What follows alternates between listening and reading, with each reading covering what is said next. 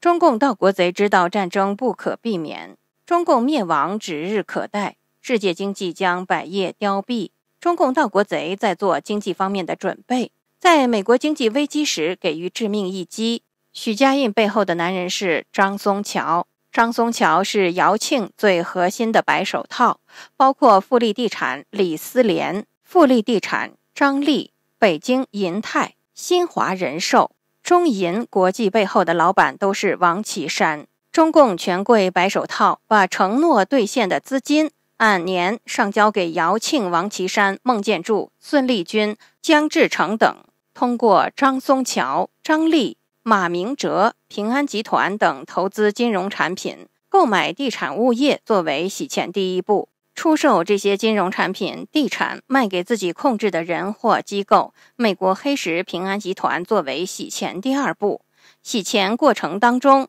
钱进自己控制的数字货币交易所火币币安，最后落到比特币市场交易。持有比特币最多的是中共、伊朗、俄罗斯部分华尔街大佬。至此，洗钱操作才结束，而且永不可查。然而，因为资金规模庞大，藏在比特币里就有几千亿美元，所以盗国贼就购买黄金、白银、钨、工业用铜等贵金属，包括纪念币，甚至好的钻石都扫光做提现，并藏匿这些贵金属在欧洲某国、新加坡、日本，甚至在想象不到的国家。仅在一国存放的白银高达可左右市场价格的几百吨，待到世界因货币超发的通货膨胀、新冠疫苗危机、供应链断裂、粮食危机、潜在的局部火战、世界大乱之时，中共盗国贼会在国家层面给美国致命一击，